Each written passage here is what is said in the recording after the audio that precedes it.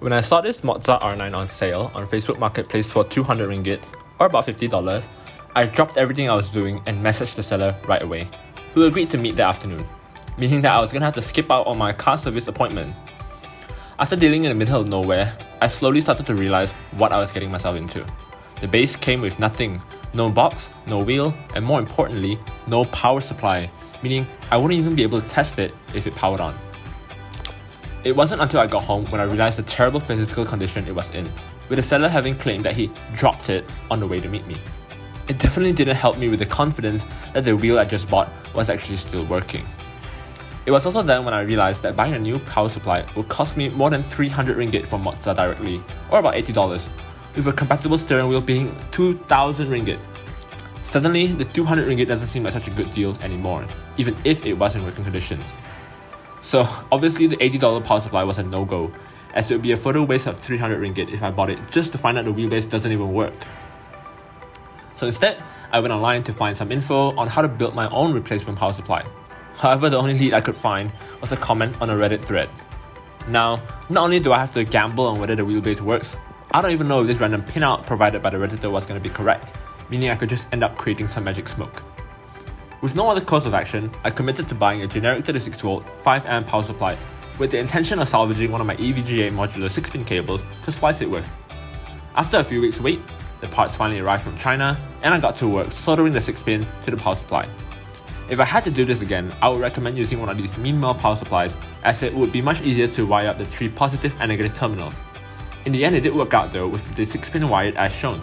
So thank you random redditor. Look at that. Look at that. Holy shit.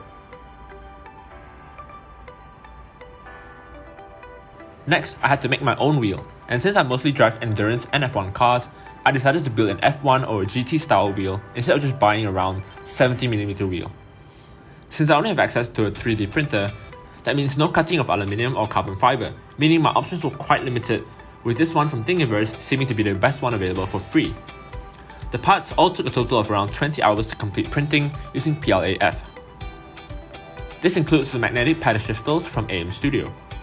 Given the load that this steering wheel was going to face from the direct drive wheelbase, I upped the count for the perimeter, top bottom layers and infill.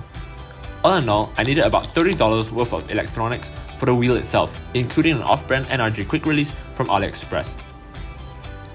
Assembly was pretty straightforward starting with filing out the 3D printed parts, especially important for the handles as it's what I'll mainly touch while racing. The shifter parts were also important to get filed down to ensure it works smoothly. A more detailed assembly guide for the shifter by AM Studio is linked in the description. I did have to make some adjustments to the shifters as I bought the larger KW12 micro switches instead of the KW10s that he recommended. I decided to remodel some of the pieces to fit this larger switch as it did felt more robust since the original wheel design was for a Logitech G29, I also had to remodel the shifter mounting plate to make clearance for the NRG quick release, which was much bigger. At the same time, I removed the unnecessary obtrusion from the original AM Studio shifter design. I'm quite satisfied to have used these larger KW12 switches because they do feel more robust, which is important for how often you'll be shifting during a race. Note that I am using a layer of electrical tape between the magnets to keep them from directly smacking into each other, which could cause them to chip and rust over time.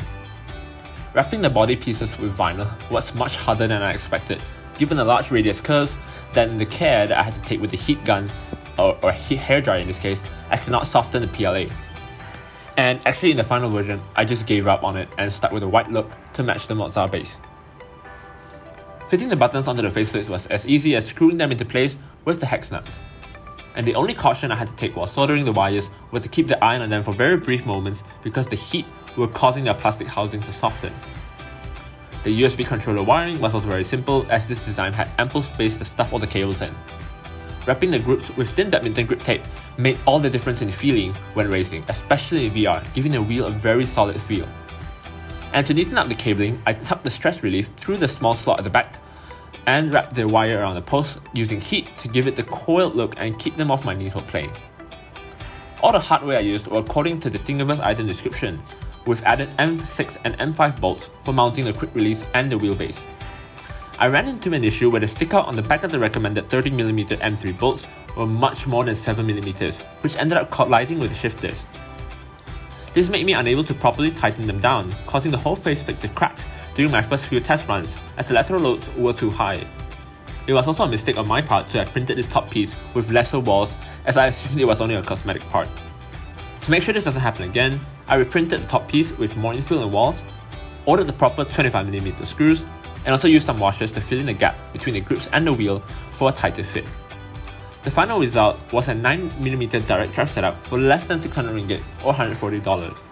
The DIY power supply works at 3 for much less than what I was asking for, and the wheel is now holding up better than I could have hoped for. I did not expect a fully 3D printed solution to be so solid, but I do plan to add a D-pad and analog stick to the faceplate to max out the USB controllers, because I am low on inputs at the moment. The Moza R9 feels so much more detailed than my outgoing T150, an upgrade that I never knew I needed.